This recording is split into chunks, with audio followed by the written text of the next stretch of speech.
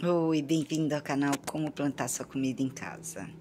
Hoje aqui tá falando da parte da cosméticos da horta, que são possibilidades que a gente tem de fazer em casa, algumas coisas que reforçam a nossa beleza, bem-estar e tudo isso. No caso aqui, é uma máscara facial de canela, canela em pó. Então, a gente vai pôr, ó, duas colheres de creme hidratante, tá? Eu já fui colocando aqui para poder misturar, adiantar um pouquinho.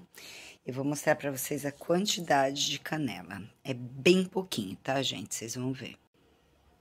Olha, então eu polvilhei aqui, é bem pouquinho mesmo. É como se fosse um sexto de uma colher, nem um quinto, até menos, tá? É bem pouquinho, tá?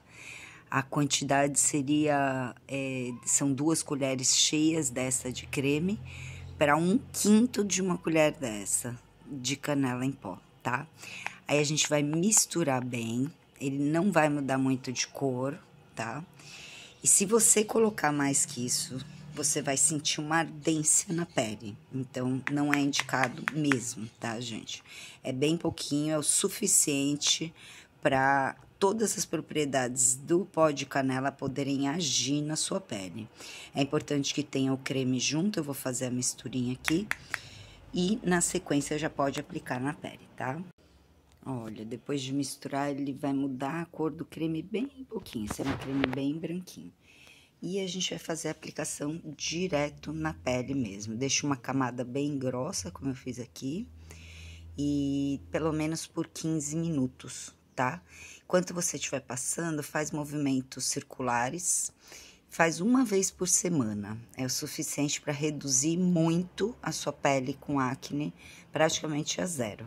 Mas toma cuidado mesmo, sem nenhuma chance de poder colocar canela direto sobre a pele, tá, gente?